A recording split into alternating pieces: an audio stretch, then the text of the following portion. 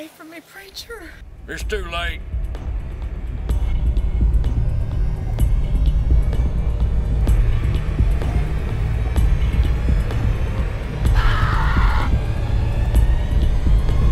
I will rip your flesh!